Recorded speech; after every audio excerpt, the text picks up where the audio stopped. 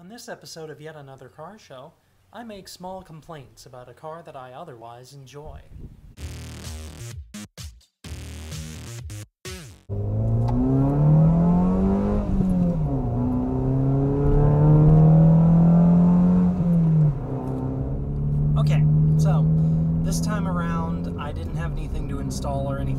Work on, so I decided to do one of these five things I dislike or love about my car videos that everybody seems to do.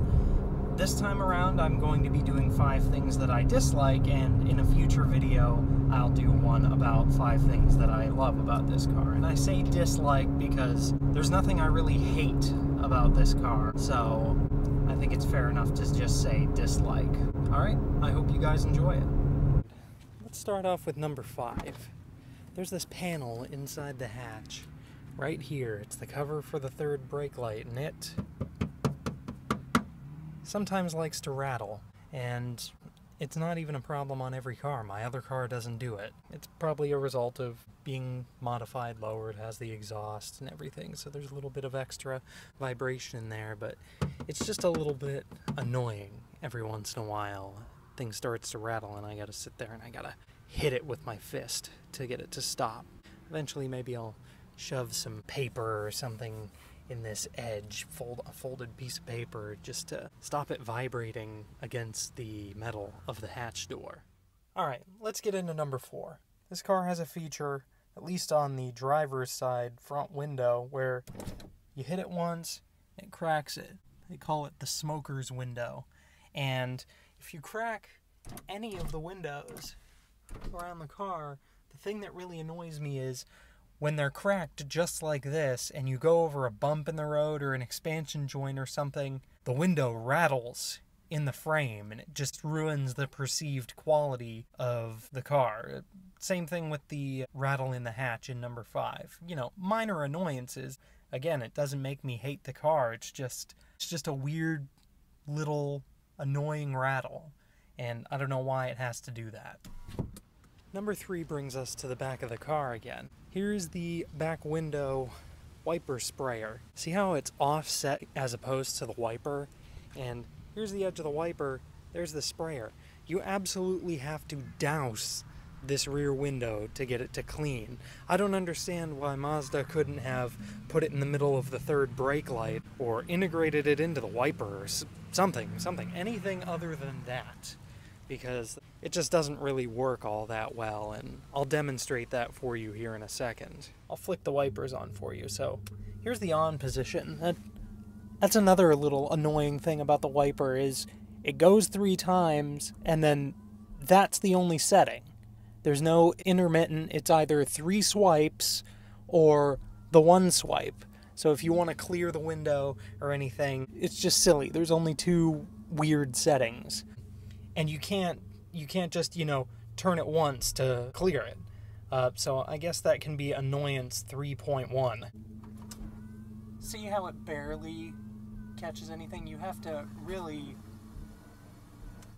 have to really hammer it. And, you know, at that point you've wasted a ton of wiper fluid. The window's clean, but at what cost? Number two on the list is way down here in the footwell. Forgive me, you're about to see my feet again. Uh, get used to it. I drive without shoes on and I work on my car without shoes on. It happens. Someone complained about it in the last video said I was talking about safety but working without my shoes on. I've never been injured working on a car because I wasn't wearing shoes. So, annoyance number two is the gas pedal. It's way over here, uh, and I'll get another angle for you. It's way over here in this cavern that is the footwell. And it just, it could be either the brake pedal could have been a little more to the right or the throttle pedal could have been a little more to the left. And I can heel toe just fine, but, you know, for when I first got the car, it was really difficult. And there are some people even now who have bigger feet than I do that just have difficulty with it because there's this, the big center console your leg kind of hits it. You know, it works perfectly for me because I'm used to it, but there are other people out there who just can't get this motion down. See, there's your point of reference. The brake pedal's a little too far to the left and the throttle pedal's a little too far to the right. All right, My number one dislike about this car is the fact that it lacks cruise control.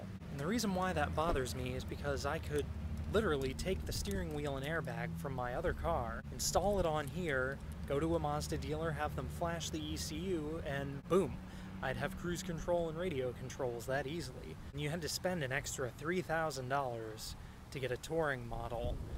You know, all I really wanted was the cruise control from it, and you would think that in 2014 you could offer it on a car that's throttle by wire across the range.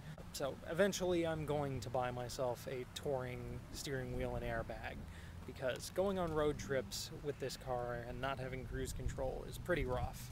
That just seems silly to me, but that's how they got you to buy the touring model. There you have it. My 5 dislikes about my 2014 Mazda 2. If you enjoyed this video, please feel free to like, comment, and subscribe to the channel. And for my returning subscribers, if you have any comments or suggestions, requests, please feel free to send them my way, and I'll do my best to accommodate them. You guys drive the channel, so I want to put out content you want to see as best I can. Thank you once again for watching this time, and I'll see you guys in a future episode. It's okay, eventually I'll have a nice suction cup mount.